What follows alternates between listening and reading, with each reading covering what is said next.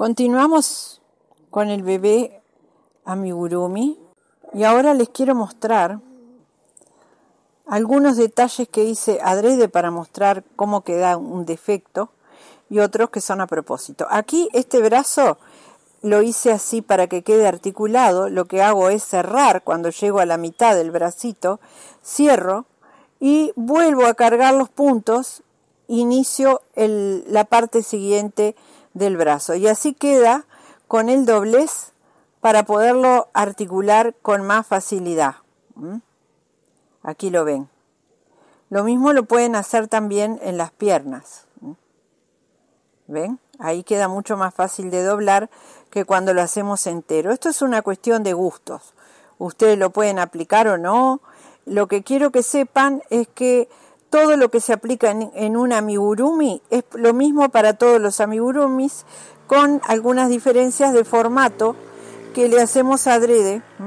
Aquí vamos, estoy mostrando una pierna, pero les quiero mostrar cómo queda este defecto. Miren, esa marca que quedó. Aquí lo que hice fue unir, cuando doy la vuelta y llego de vuelta a donde arranqué, lo uno tejo dos cadenitas y arranco, pero como ven queda una marca.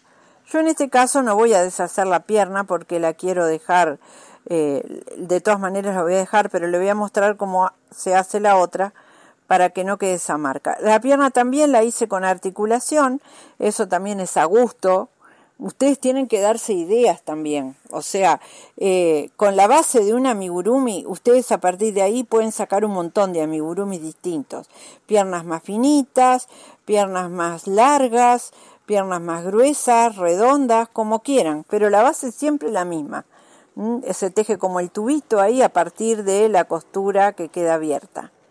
Ahora vamos a hacer las orejitas, que primero que les quiero mostrar también cómo se realizan las orejas. Es un medio círculo, el tamaño que quieramos. Si queremos que sean pequeñas, pequeñas.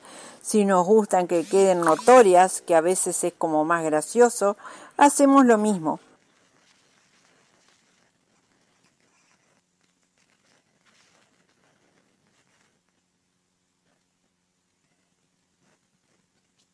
Bueno, ya tenemos aquí las dos lo que hacemos, ya hice las dos vueltas, es ahora pasarle una puntada todo al borde de punto bajo para darle como más firmeza, ¿verdad? Al tejido. Bueno, a ver, aquí la primera está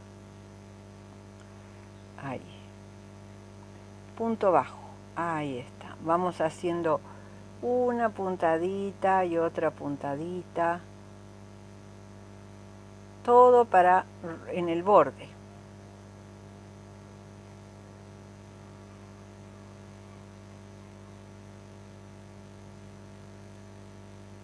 Se las vamos a coser y lo que vamos a hacer es para que nos queden bien a la misma altura, es de donde tenemos la marca de los ojitos, contar tres lugares para arriba.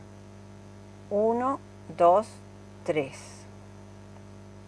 Desde ahí vamos a pegar la orejita.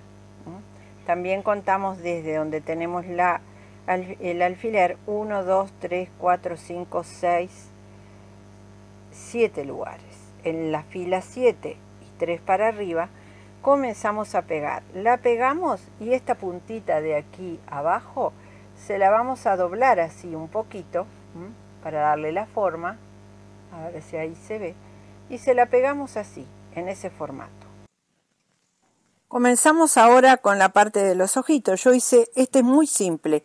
Como no tengo los ojitos plásticos que ustedes ven en la mayoría de los amigurumis subidos con IA, lo que vamos a hacerlos nosotros.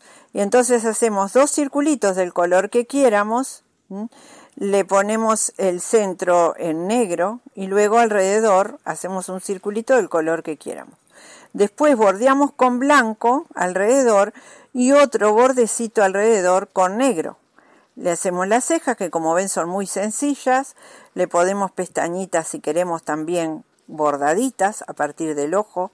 Y ahora estamos aquí dándole un poco de color a la cara, que le da mucha vida y lo hace mucho más natural al gesto, a la carita del muñeco, un poco de color. La boquita con un hilo rosa, simplemente di unas puntadas en los bordes de donde quería que quedara la boquita y tejí de lado a lado una puntada del borde a borde de la boca, tiré, cinché para que se juntaran y se metieran así para adentro y eso forma la boquita y nada más a veces se le puede pasar todo un hilito alrededor del, del, hilo para que quede más gruesa, pero en este caso la dejé así. Aquí hicimos las prendas como un tapadito como el que se hace para una persona, en este caso con el pecho cruzado. Y después seguimos en otro video con la muestra del resto de las prendas. Muchas gracias por acompañarme y aprovechen los tutoriales para más ideas.